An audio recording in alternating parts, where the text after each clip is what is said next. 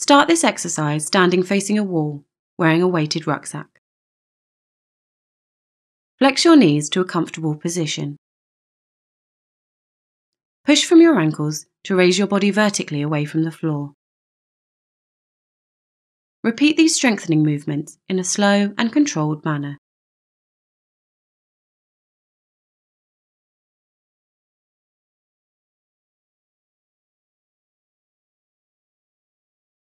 Ensure your knee angles remain stable and flexed throughout the exercise.